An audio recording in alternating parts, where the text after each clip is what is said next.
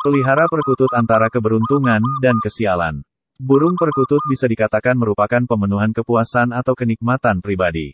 Suara anggungannya dapat memberikan suasana tenang, teduh, santai bahagia dan seolah-olah pemiliknya dapat berhubungan dengan alam semesta secara langsung.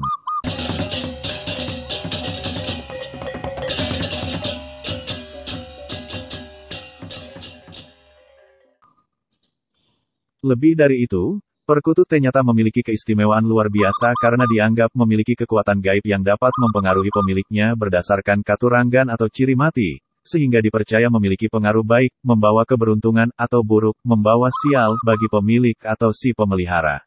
Untuk mengetahui baik atau tidaknya seekor perkutut, dapat ditilik berdasarkan katurangan ciri fisik seperti bentuk tubuh, bulu, paruh, kaki, dan ciri mati, sifat, perilaku, dan pada saat berbunyi.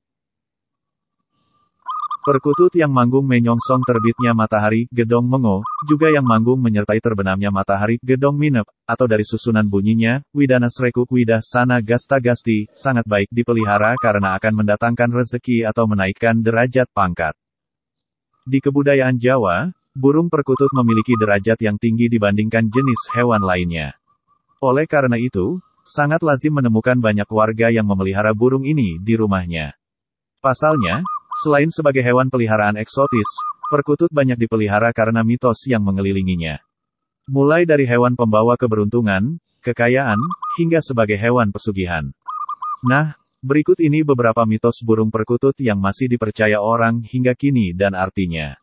Mitos burung perkutut berdasarkan jenisnya burung perkutut hitam.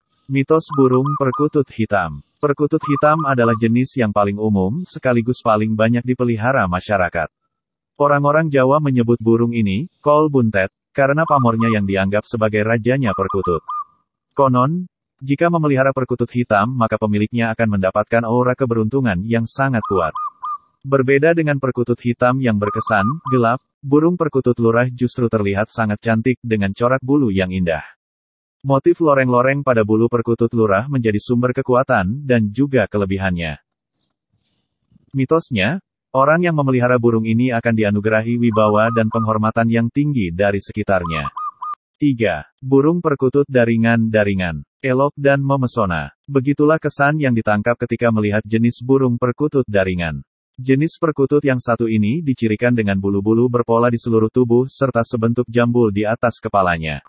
Konon, Bulu burung perkutut ini melambangkan rezeki yang tak putus hingga tujuh turunan bagi pemiliknya.